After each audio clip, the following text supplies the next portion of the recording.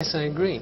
I think um, none of the uh, standard, uh, the normally accepted programming languages are applicable for end users at this point, personally.